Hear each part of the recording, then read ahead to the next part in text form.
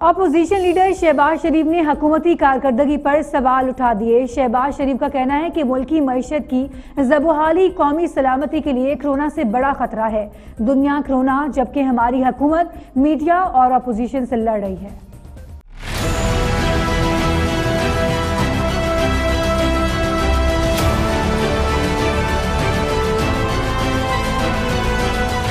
Opposition leader Shahbaz شریف نے کہا ہے کہ کرونا سے بڑھ کر ملکی معیشت کی زبو حالی قومی سلامتی کے لیے خطرات بڑھا رہی ہے۔ وائرس کے لیے قومی حکمت عملی کی تیاری میں بہت تاخیر کی گئی۔ عالمی سطح پر بڑھتے معاشی خطرات کو مد نظر رکھ کر مجموعی قومی پالیسی درکار ہے۔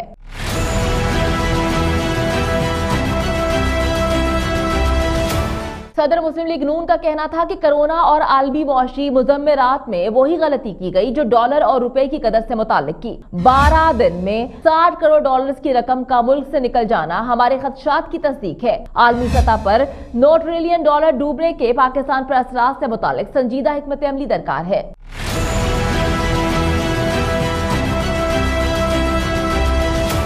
شہباز شریف نے کہا کہ سٹاک ایکسچینج اب تک دس فیصد پہلے ہی گر چکی ہے۔ آنکھیں نہ کھولی تو ناقابل تلافی نقصان ہوگا۔ اس کے علاوہ حکومت کی آئی ایم ایف سے حماقت پر مبنی ڈیل کروانا صورتحال میں مزید مشکل بڑھائے گی۔ انہوں نے کہا کہ دنیا کرونا اور معیشت کی بتحالی جبکہ ہماری حکومت میڈیا اور اپوزیشن سے لڑ رہی ہے۔